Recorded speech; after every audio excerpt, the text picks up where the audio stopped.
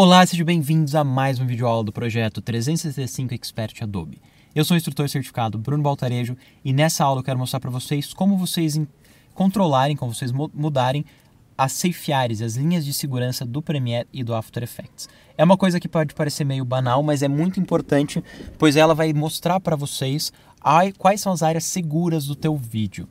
No Premiere você encontra para ligar, vindo aqui no sinal de mais, trazendo esse ícone aqui para baixo e ativando ele clicando no botão. Outro caminho é vindo aqui na chave de boca e aqui na chave de boca ligando Safe Margins.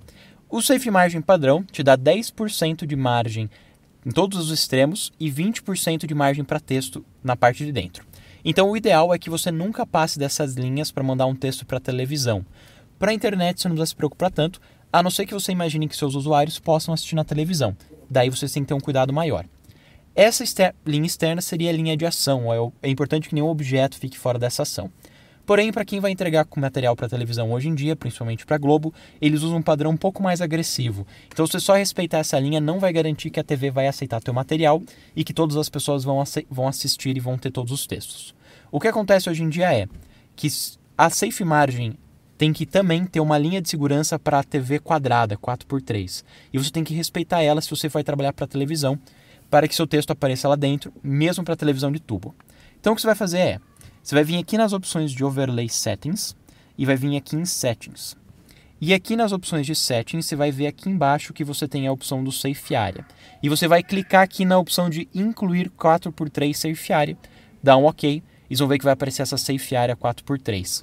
E é essa linha mais para dentro que você vai ter que respeitar para mandar para Globo. Outras emissoras podem não te pedir isso, mas se você quiser ter certeza que esse texto vai aparecer para qualquer pessoa, independente dela estar tá vendo uma tele, numa televisão de tubo ou numa TV quadrada, uma TV retangular, digital, atual, respeite essas linhas de segurança.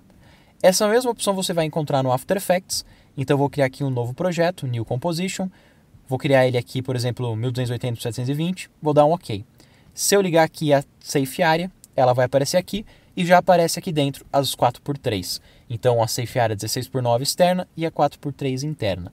Se você quiser alterar opções dela, você vai vir aqui em Editar, Preferências, Guides e Grids, e aqui dentro você tem aqui embaixo algumas opções para o Safe Area. Ele já automaticamente vem com a opção 4x3, então a opção que ele tem aqui é mais a opção de, de você mudar o posicionamento. Então tem a porcentagem do primeiro, 10%, 20%, 32,5% e 40%. Se você quiser, você pode alterar esses valores caso seja necessário.